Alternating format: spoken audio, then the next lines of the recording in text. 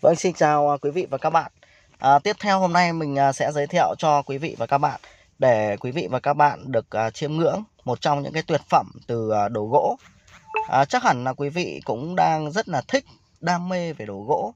Vậy thì hôm nay à, kênh của đồ gỗ Văn Sáu sẽ chia sẻ cho quý vị về một số các cái mẫu tượng có thể được nói là độc nhất vô nhị để quý vị được chiêm ngưỡng.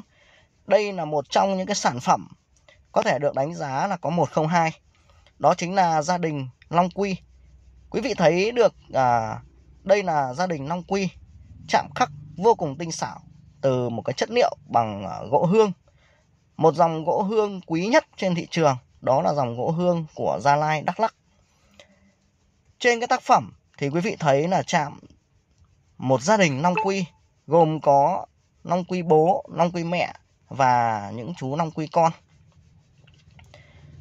Tác phẩm này gồm có 5 chú Long Quy hay người ta vẫn thường gọi là à, đại gia đình Long Quy. Giá trị ở đây là à, cái chất liệu gỗ quý. Cái thứ hai nữa là cái cục gỗ này nó quá lớn.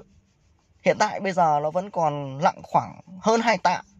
Thế cho nên là chia sẻ với quý vị thì à, cái à, gỗ hương này mà được chạm một cái gia đình Long Quy rất là đẹp, bề thế như thế này thì à, à, rất là sang trọng, lịch sự đúng không ạ? Một cái à, khúc gỗ hương mà nó to lớn như vậy mà hiện nay đến bây giờ mà chạm khắc xong rồi thì nó đẹp và nó à, mỹ mãn như thế này. Trên lưng của cái chú Long Quy ở trên đỉnh thì nó vẫn có lu và chu chun. Thế cho nên là cái giá trị nó càng thêm sống động và tuyệt vời hơn rất nhiều. Ở đây thì à, điều đặc biệt là một gia đình Long Quy hàng liền khối. Rất là đẹp. Giá trị à, chạm khắc thì quý vị nhìn quý vị sẽ đánh giá rất là rõ đúng không ạ? Sau cái tác phẩm này thì tôi sẽ chia sẻ một cái tác phẩm tượng di lạc cho quý vị.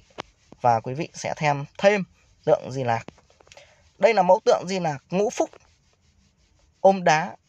Quý vị có thể thấy được à, cái giá trị tượng di lạc ở dưới cây tùng mà chạm à, ngũ phúc trong khi đó thì cái tác phẩm này cũng rất là lớn, cao hơn 2 mét. Cái điều đặc biệt ở đây ấy là quý vị nhìn thấy sự tinh tế của những người thợ chạm khắc lên bức tượng là di nạc cũng như là các chú tiểu đồng. Hàng thì à, nó không phải là liền khối 100%, nhưng mà nó liền khối lên đến 8-90%. Cái phần bên à, chính thì là liền khối. Còn cái phần phụ ở bên dưới như các cái sâu tiền hay là à, các cái con cá thì là được ghép vào. Còn cái cây tùng thì chắc chắn là ghép rồi. Cây tùng thì không thể nào mà nói đến cái từ không ghép được.